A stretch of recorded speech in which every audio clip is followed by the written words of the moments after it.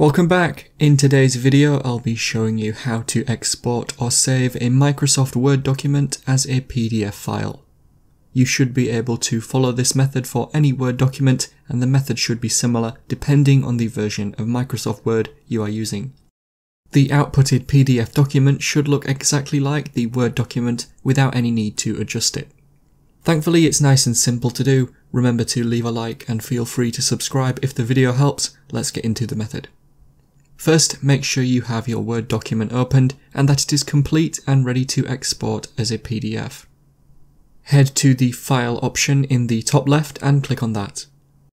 In the menu that opens, go down to where it says Print and click on that. This will bring up the printing screen and it is from here where we can export to a PDF. Under where it says Printer, click on the arrow to bring up the drop-down menu. One of the options on this list should be called Microsoft Print to PDF or similar, so select that. Now that Microsoft Print to PDF is selected, you can change some of the print settings. This is just as it would be for regular printing, so you can change things like the page orientation, scale and more you can view how it will look as the PDF document on the preview. Once you're happy with the print settings and the preview, and that Microsoft Print to PDF is definitely selected, you can click on Print. After clicking Print, it should open another window which will allow you to name and save the file, just like you would save any other file on your PC. Give it a name, choose the location, and make sure it says PDF as the file type, and then click on Save. And so that is how to export or save a Microsoft Word document as a PDF file.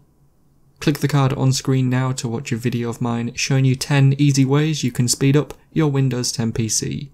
Help support the channel by visiting the store, the link is in the description and at the end of the video. If you have any questions, then let me know in the comments below, and if you did find today's video helpful, remember to leave a like and feel free to subscribe for more tips in the future. Be sure to stick around to see some of my other videos that you might be interested in. Thanks so much for watching, and I will see you in another video.